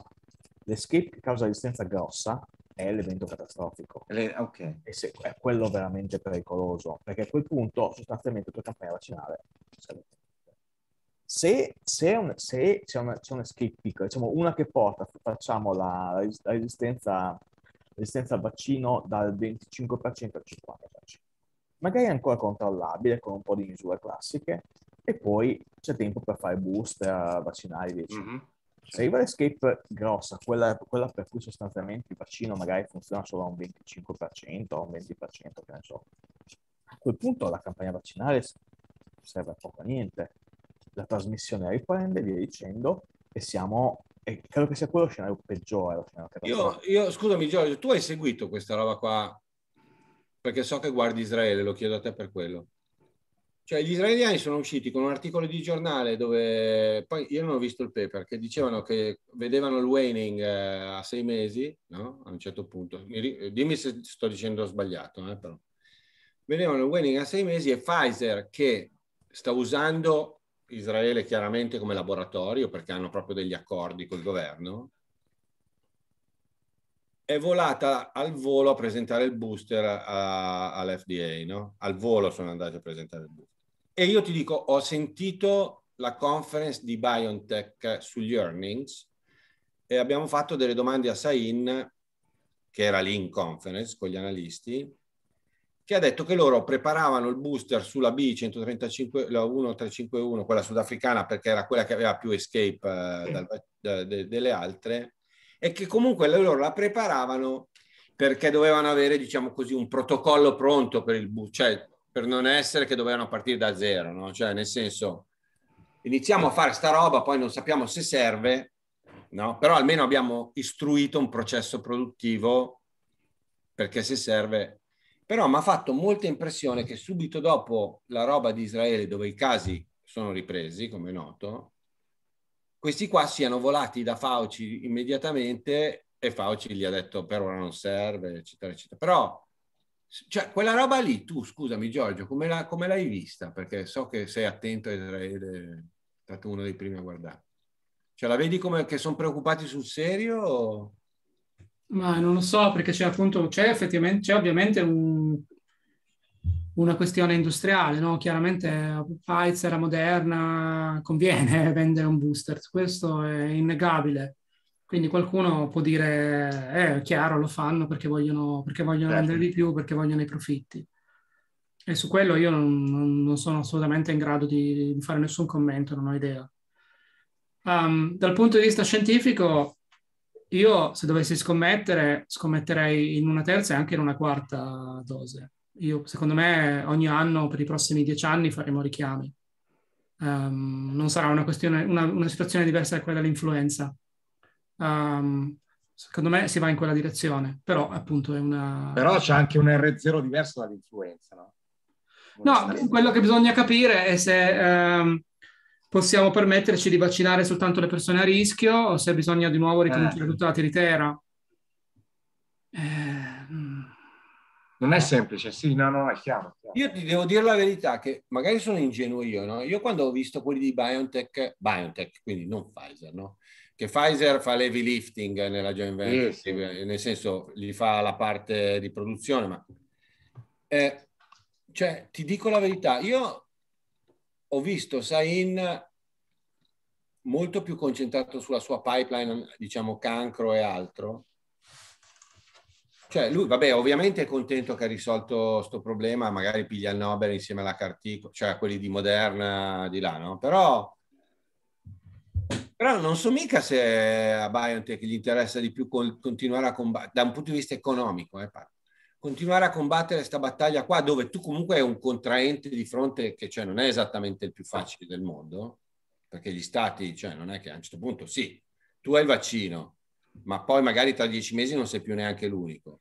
E, e dall'altra parte dello Stato. No, ma infatti, perché molti pensano che il business dei vaccini sia chissà che un business, business. di Come dice no, ma, ma, infatti, merda, ma cioè... infatti, io non sposo questo punto di vista malizioso che tanti hanno, secondo me, però appunto non essendo nel settore... Parlando, parlando, con loro... Diciamo, io... aspetta, se io fossi Pfizer direi, ragazzi, se ci serve il booster decidiamolo adesso, perché eh. è inutile che poi mi venite a dire a settembre che vi serve il booster, a ottobre eh, che vi serve sì. il booster e siamo di nuovo punto a capo. Quindi quando CDC e FDA e Fauci e tutti gli altri e Burioni dicono non esiste nessun dato al momento che dice che serve il booster. E grazie al cazzo, se ci fosse lo faremmo. Però eh, tutta la, la, la, la, gestione della pandemia è tutta questa, non puoi aspettare che arrivi il dato, perché se aspetti che arrivi il dato, il dato arriva e ti mette a pecorina. E a me questa cosa mi fa, mi fa veramente imbestialire, cioè che dopo 15 mesi non si sia capito che devi anticipare, è una cosa che, non so, al di là del bene e del male, voglio dire. È chiaro che Pfizer ti dice se vi serve il booster a ottobre me lo dovete dire subito, non è che arrivate voi l'ultima settimana e mi dici dammi 500 milioni di booster. Eh. Eh. C'è un aspetto ancora più ridicolo in questo punto giustissimo che ha appena detto Giorgio, che è il fatto che tutto sommato il costo di un booster rispetto al ridicolo, costo sì. di, di ma sì, sì, sì, no, e allora questo qui è il problema del costo privato e il costo sociale, esatto, no, bravissimo. Entrambi, entrambi, cioè, cioè se, prendi, se prendi Incluso il, incluso il, fatto che il booster possa allora, ma io ve lo dico perché i numeri li so. Reali. Ragazzi, mettiamo giù i numeri così la gente capisce. Allora, fai, eh, BioNTech guadagna nei prossimi due anni dai vaccini Covid 7 miliardi netti, 4 quest'anno, 3, 6 eh, quest'anno, scusate, 9 miliardi netti, 6 quest'anno e 3 l'anno prossimo. Diciamo che Pfizer guadagna uguale, non è uguale, ma va bene. 18, raddoppiateli su Moderna, ok? 36, 36 miliardi, ok? Sulle dosi. Quanto è costato tutto il troiaio che abbiamo visto? Quanto costa un giorno? Pelino di più? Quanto costa? Allora, 106 miliardi all'ora. Un, gio- un, giorno di lockdown, perché...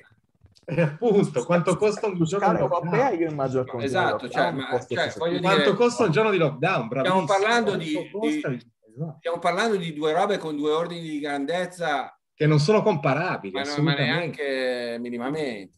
E quindi, cioè, quando fanno questi discorsi di ah, Pfizer guadagna troppo, ah, BioNTech guadagna troppo, sì, ma tutti gli altri, loro guadagneranno troppo, poco, non lo so, non sono marxista, non so qual è il giusto profilo.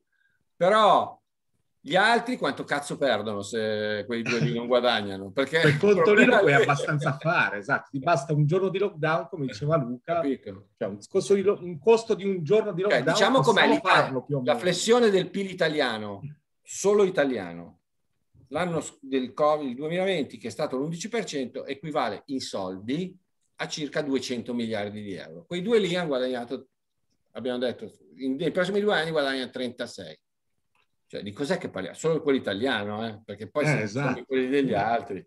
Quindi, cioè, di cosa stiamo parlando? Vabbè, adesso ti diranno, eh, non capisci un cazzo, uno è il flusso, l'altro non è il flusso. Vabbè, ho capito, eh, non è che stiamo qua facendo una lezione di economia. Però uno è il valore aggiunto, l'altro non è il valore.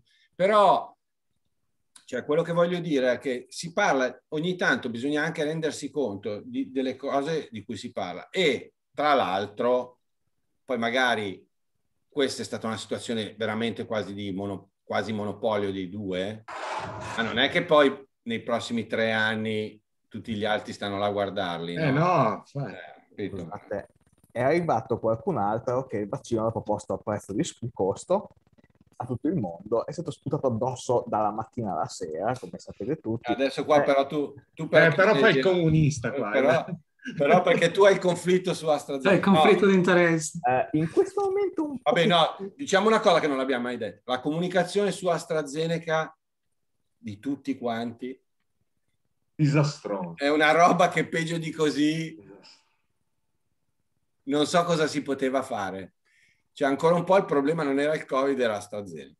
Cioè, capito? Qui no, comunque, eh. qui nel Regno Unito non c'è stato quel problema. No, no, ma io parlo fuori no, da ma in lì. Europa sì. In Europa fuori da sì. lì. Cioè, fuori da lì. E ecco, lì io sono un po' malizioso, cioè che l'FDA non approvi solo AstraZeneca. Ah, no, no, non è. Eh, dai, allora, Non è malizia, è esatto. Pensare male si fa peccato, ma sei, sei Andreotti. cioè, E- voglio dire, ha provato J&J, che è la stessa, cioè il tipo di meccanismo è uguale. Vabbè, Eh, come la scelta di AstraZeneca non è casuale è al posto di Merck e via dicendo. Cioè, la geopolitica ha causato tanti di questi vaccini dall'inizio alla fine. sì, sì, non discuto. Purtroppo, purtroppo ha anche diciamo, causato dei pasticci notevoli, specialmente con AstraZeneca. La cosa che mi sconvolge, ad esempio, è che io ho scoperto l'altro giorno che il test sostanzialmente ha dec- ha deciso che non vuole più, non vuole più spedizioni AstraZeneca. Cos'è, scusa? L'Italia ha deciso che non so- sospendere le- le- Sì, l'Italia non ce l'ha più. Ah, ok. Sì, però la cosa che non capisco è, io in questo momento, se fossi in Italia, se fossi in qualunque paese europeo, io comincerei a pormi dei problemi a vaccinare come se non ci fosse un domani, letteralmente. Eh, so. Cioè, perché in questo momento l'unica difesa, l'unico vantaggio del- del- dell'Europa non è il fatto di essere avanti nella campagna vaccinale, perché diciamoci, tutta l'Europa è indietro nella campagna vaccinale rispetto al Regno Unito. Quindi, se non accelerano, faranno esattamente la stessa cosa che facendo l'Inghilterra come strategia folle che abbiamo descritto, però fatta, di, fatta in autunno con le scuole aperte e quindi con, e, e quando inizia la stagione di virus respiratori.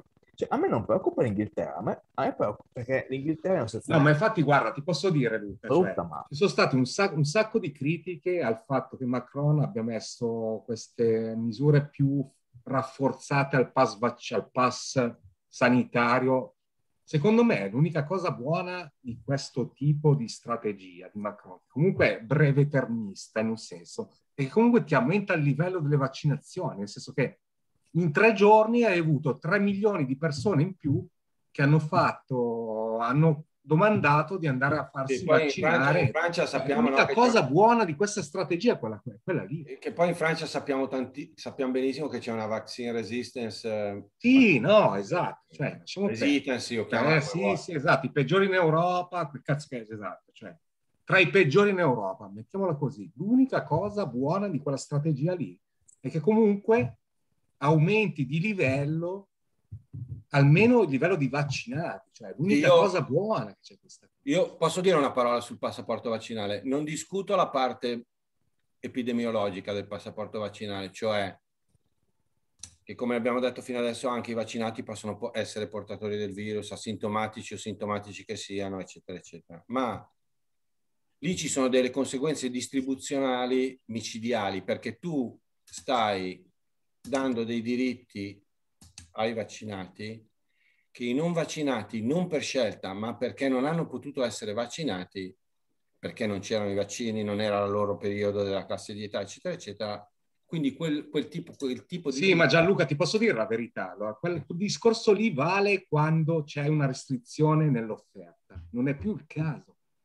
Cioè, non è più il caso. No, però scusami, Thomas, Però scusami Thomas, pensa a delle intere classi, io penso tipo i lavoratori stagionali eh, d'estate, quelli non hanno 50 anni, eh. cioè quelli ne hanno, sono giovani. Cioè, in teoria, se fosse applicato strettamente la questione del passaporto vaccinale, tu hai- devi avere i camerieri dei ristoranti, negli alberghi, eccetera, tutta gente di 50 anni, perché te- se fosse così stretto, rigido, cioè tu quella parte Ma lì... perché? Cioè, c'hai comunque una... Cioè, cioè- cioè, la- l'offerta potenziale di vaccini è molto superiore alla domanda. No, non è così, non è così. Ma perché dici così? Cioè, io non capisco. Cioè, No, poteva no. valere due mesi fa. Io No, non ci so- non ci sono Allora. abbastan- non ci sono abbastanza vaccini neanche in Italia, Thomas, per vaccinare tutti. Non ancora. Poi arrivano, arrivano, ma... No, ma secondo me, cioè, sì, per l'amor di Dio, non Cioè, tutti c'è- c'è dall'oggi proprio- al domani, però... No, esatto, c'è proprio un sfasamento temporale, per cui l'unica cosa che vedo è che almeno per qualche mese tu hai delle conseguenze distribuzionali, poi dopodiché sì, certo, dopo tra sei mesi no, però ci sono delle- delle- dei bottleneck, per esempio sull'estate, che sono evidenti, no? almeno a me, nel senso che... No, no, no, ma certo, quello nessuno lo nega, cioè che nel breve periodo ci sono quei problemi lì, però cioè, questo discorso qua era molto più stringente. No, vabbè, certo, prima non si poteva proprio. no. guarda che una maniera per risolverlo è molto semplice, è semplicemente dire che, cioè, che ad esempio tra un, mese, tutti, tra un mese tutti quelli che non hanno la prima dose non possono più entrare, tra un mese, hanno un mese per farsela, vedrai che si Certo. fa tutti.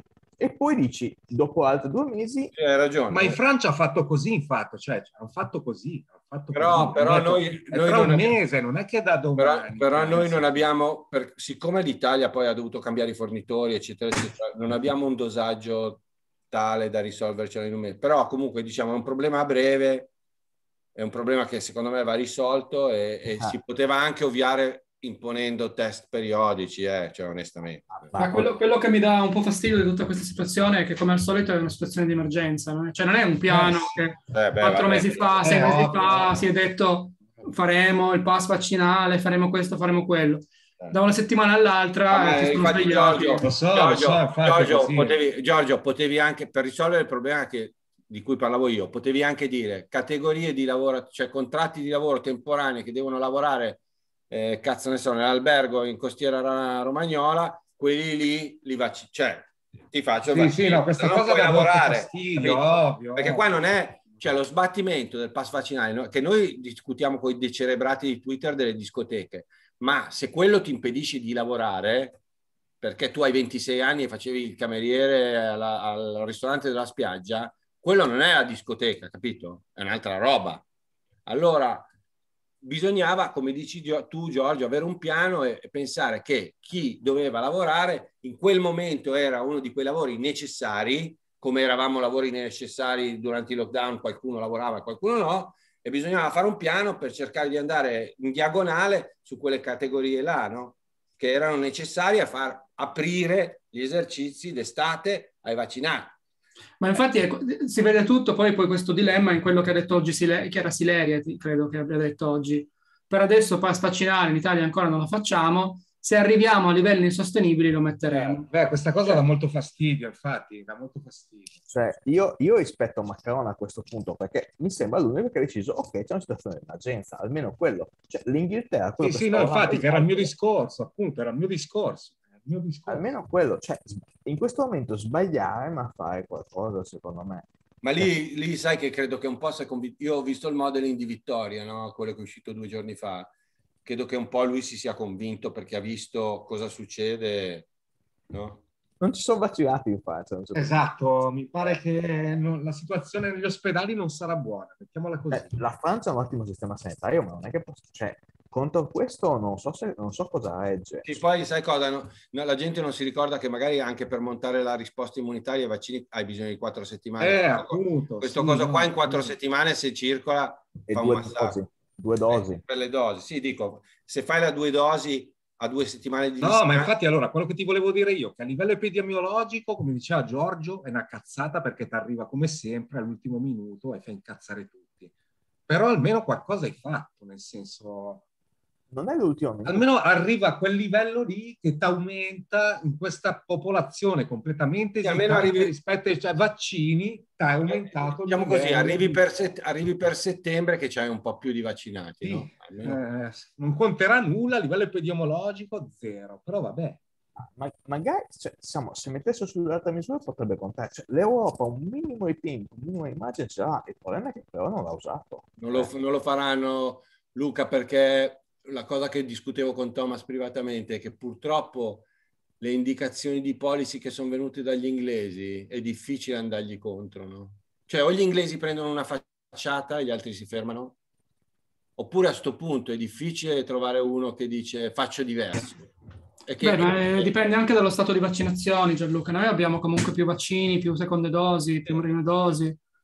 Eh, Guarda, io, mi è au- peggio. io mi auguro di sbagliare, ma non vedo tanta volontà, diciamo, di prevenire nel resto d'Europa, eh, praticamente. Dicendo che se, se le cose vanno come dice Giorgio, gli inglesi prendono una trambata nel muso a metà agosto, il resto dell'Europa si prende una doppia trambata nel muso a metà settembre. Due settimane dopo in Francia, due tre no, il resto settimane d'Europa dopo. quando eh, l'Inghilterra prende... No, no, sono, sono due- sono tre settimane di ritardo rispetto Sì. a... cioè- No, set- settembre si cambia di nuovo tutto marcia, eh, perché ricominciano le scuole. Quindi settembre è tutta un'altra, è tutta un'altra marcia. Quindi io vi dico la verità, io da un certo punto di vista, cinicamente, essendo, essendo lontano dall'Inghilterra in questo momento, la strategia di bruciare tutta la legna in estate finché, finché non brucerebbe il suo, non è, cioè, è una strategia particolarmente rischiosa per l'Immune Escape e con un, con un costo altissimo sociale,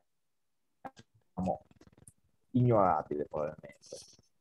Però, al di là di quello, come strategia in generale, potrebbe vagamente funzionare. Io la stessa cosa, che, la stessa cosa vista applicata a settembre, ottobre, io la vedo veramente male. Sì, sono completamente eh. d'accordo. Cioè, sono assolutamente d'accordo. Piuttosto capisco Inghilterra che dice voglio che tutti i giovani si impegnino ora. Cioè non la capisco nel senso, non posso personalmente approvarla, ma capisco il senso. Certo, certo, no. È il io, di cui discutiamo. Io, cioè, quello che tu dici è la capisco ma non la condivido, no? Questo stai dicendo. Me sono andato appunto per evitarla, quindi... No, sì, sì. no, no, però, no.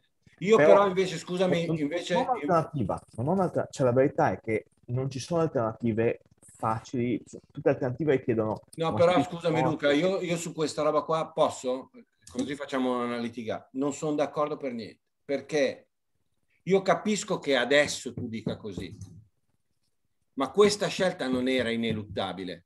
Ah, ah okay. no, vabbè, questo è cioè, Adesso puoi anche dire così, eh, certo. ma no. cioè, quegli idioti che ti dicono che se questa roba ha un RT, cioè, ma se tu se tu contieni l'RT, non l'R0, che quello non lo puoi, cioè è quello, ma l'RT lo contieni, l'epidemic size cambia, ok? Cioè non è che l'herd immunity è la stessa, ok? Quindi, no, no, sono, quindi.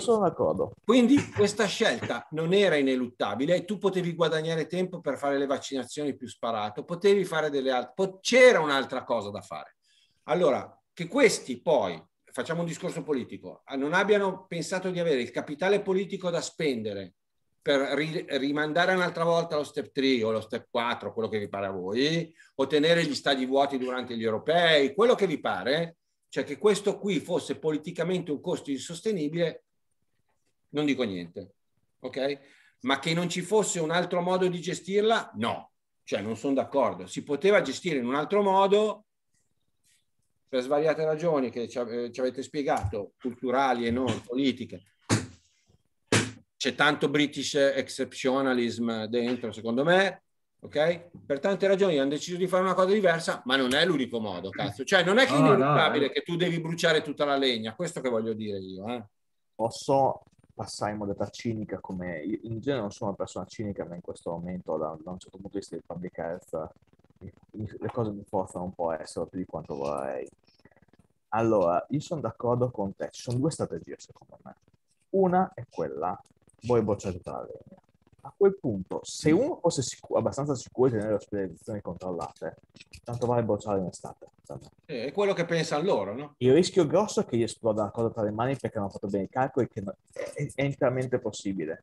Però la loro idea è che se riescono a fare gran parte dell'altra, e a quel punto va bene anche che sia che, che l'epidemia sia bella calda con, con un RT abbastanza alto, anzi perché a quel punto hai bocciato veramente molto più legna, con, cioè arrivi, arrivi al, al, alla soglia di di gregge, overshoot, quindi bruci di più e que- questa è una strategia. La seconda strategia sarebbe quella più razionale, che credo che sia quella che gli epidemiologi in generale in, in Inghilterra preferirebbero, che è va bene non contare l'epidemia perché non ce la facciamo, ma cerchiamo di mitigarla, di tenere R moderato R 1 qualcosa, diciamo, non, non, vogliamo arrivare a 2, vogliamo tenere 1 qualcosa, avere un'onda moderata in modo che la possiamo controllare e spargerla nel tempo, ovviamente, e in modo che noi possiamo anche recuperare sulle vaccinazioni. Il problema di questa strategia fondamentale, secondo me, è un problema più pratico, nel senso che c'è sempre stata poca volontà di intervenire seriamente dal punto di vista delle, delle misure, delle misure di, di, di, mitigazione del virus. Di quelle che costano poco, non dico di quelle cioè le, le chiusure e via dicendo, ma parliamo delle misure, quelle che sono mantenibili a lungo termine, quelle che anche in questo momento potreste, potreste avere.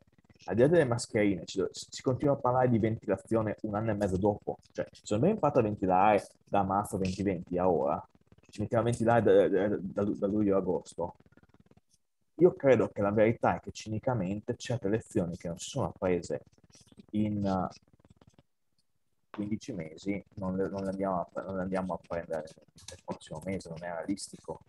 Quindi ci si troverà a settembre con relativamente poco tutto questo fatto. E non è che lo dica volentieri, però la verità è che stessa cosa vale per il tracciamento. Se, se il tracciamento lo facciamo ancora come dei cani dopo 15 mesi in tutti i paesi occidentali, i prossimi due mesi non cambieranno niente. Anzi, per come vedo i processi decisionali io, cioè, scusate. No, ma lì ha ragione Giorgio, no? Cioè, il momento che la fai andare, tutti gli incentivi anche a fare queste cose non ci sono più. Cioè, quando hai deciso più. che ha ragione in pieno Giorgio, cosa, cosa, gli vai a dire alla gente? Quando hai, hai mandato i casi a 3 mila miliardi, che cazzo gli vai a dire? Beh, accendi l'app. Quello ti dice l'app, accendo il Nintendo, ma non l'app, cioè, capito? E infatti l'app lo vogliono tutti cancellare, ma io, io li capisco eh. anche, perché c'è ma gente, c'è gente, che pensa solo andare in vacanza. Cioè, io, io certo. penso andare in vacanza. Cioè, tanti amici che mi hanno detto, a me devo andare in vacanza, qui devo andare là. Devo, devo Infatti, fare... guarda, una cosa Giorgio, volevo dirtela, no? quella cosa che tu hai detto, ma l'ha detta anche Luca per la verità.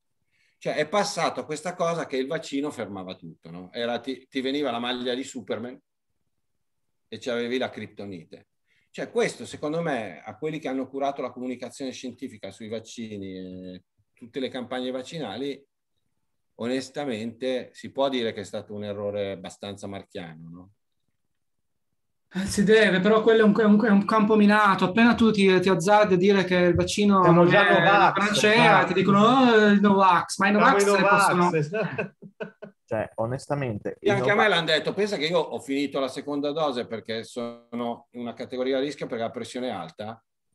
L'ho finita il 27 maggio, no? Cioè, voglio dire, mi dicono che... Perché non ho messo la foto che mi sono fatto il vaccino perché mi girano i coglioni. Cazzo gliene frega la gente di dove ho fatto il vaccino ma, eh, ma che, però, però questa cosa... Però dovresti di... smettere di fumare. Eh, lo so, ma però prendo le pastiglie per fumare, per capire tenerla bassa. Quindi, cioè, non è che mi rompono i coglioni, faccio tutto. No, ti volevo giustamente rompere i coglioni. Cioè. Eh, allora, cioè, il tema di questa cosa qua dei vaccini, che se i vaccini eh, proteggono dalla malattia, proteggeranno dall'infezione, eccetera, eccetera, Secondo me questa cosa di non, tenere, di non tener conto, che si sapeva peraltro, che il virus sarebbe circolato più o meno anche dopo che c'erano stati i vaccini, cioè questa roba, secondo me, è un incentivo a dei comportamenti che poi farli tornare indietro un sì, sì, casino della Madonna. Eh.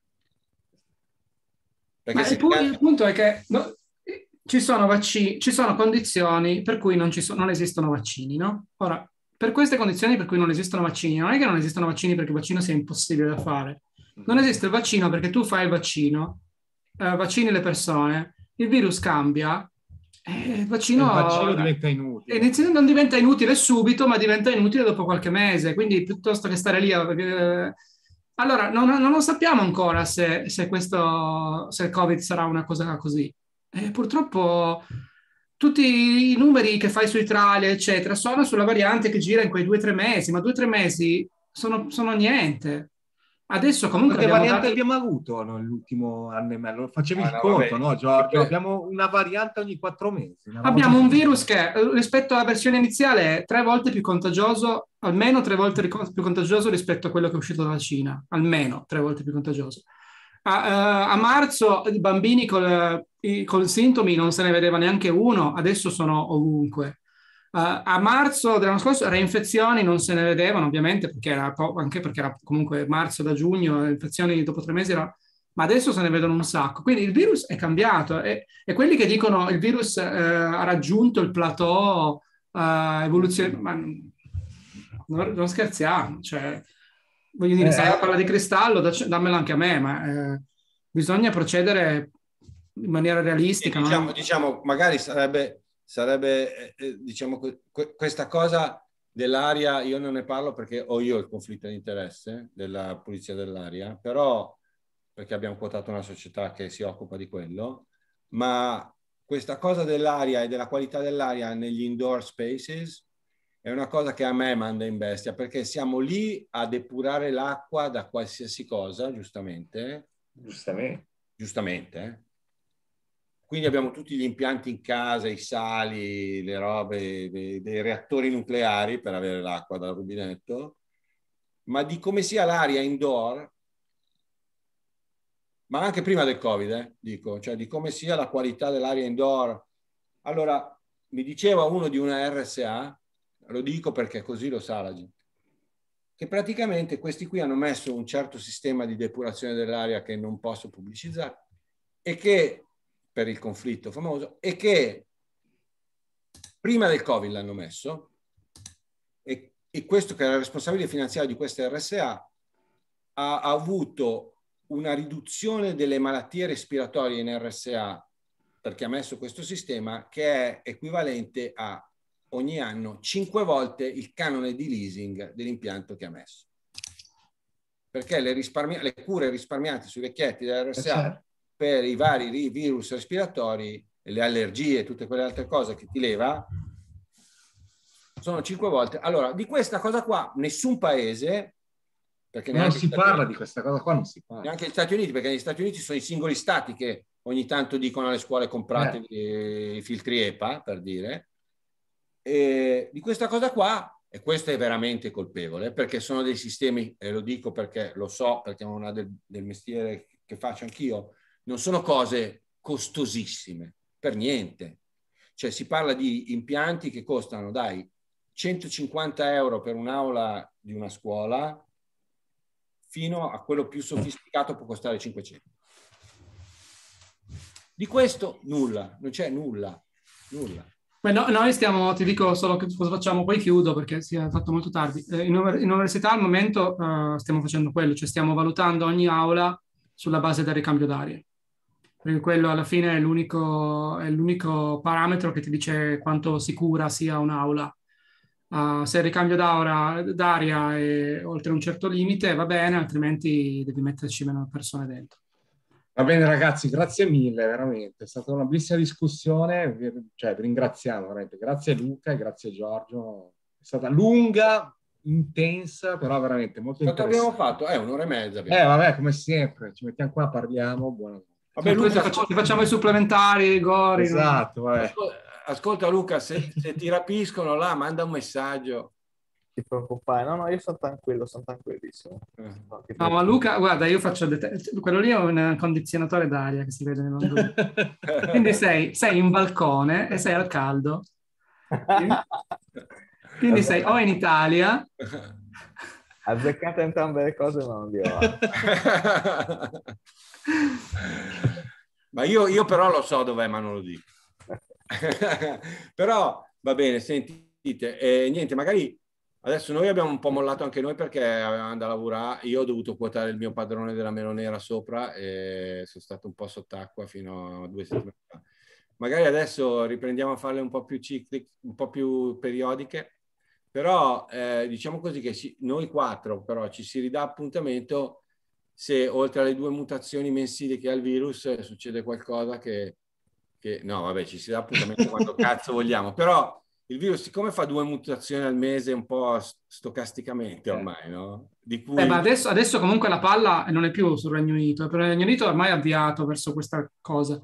Adesso gli sviluppi interessanti saranno in continente. Saranno altrove, infatti. Ah, in Italia, in Francia, Spagna. Sì, sì, ho visto che oggi la Hotcroft ha messo fuori una roba su una roba che gira in Grecia, 1, 3, 1, 8, cioè, cioè 50 numeri perché loro non l'hanno ancora nominata. Cioè, qua si rischia che l'alfabeto greco non basta. Non basti più. okay.